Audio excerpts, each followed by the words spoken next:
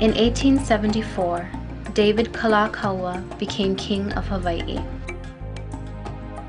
Oftentimes called the Merry Monarch, I think he's looked upon mostly for his, his lighter side and his love of music and dance. But His Majesty was intensely nationalistic and intently driven by a need to, I think, preserve the sovereignty of Hawaiian rule in the Hawaiian kingdom. At first, Kalakaua allied himself with the landowners. It was natural because he himself owned thousands of acres. In 1876, he traveled to Washington to secure a treaty so that Hawaiians could sell sugar to the United States tax-free. By 1885, almost all the sugar plantations were in the hands of foreigners, most of them the grandchildren of the original missionaries.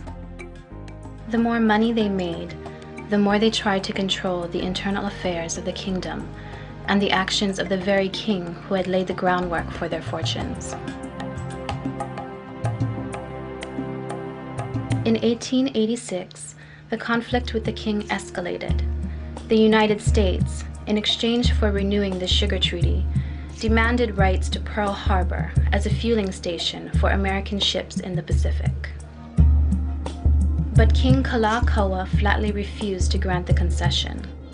King Kalakaua became aware that the benefits of this sugar industry was not going to him or the chiefs or to the Hawaiian people, but had gone to the Americans. And he was not about to give up the independence of Hawaii, even if it was over only just Pearl Harbor. The business community was in a panic.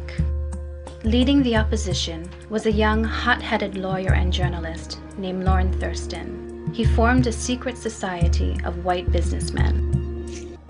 The Hawaiian League joined forces with a citizens' militia, the Honolulu Rifles.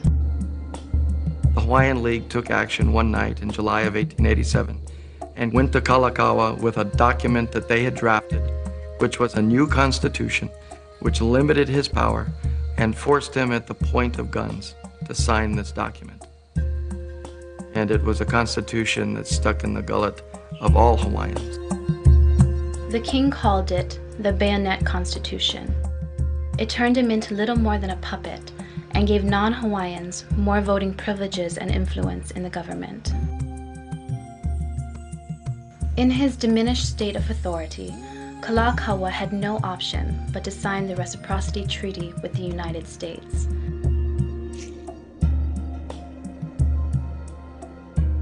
American warships now had a permanent port at Pearl Harbor, adding to the United States' continued intrusion in Hawaiian affairs.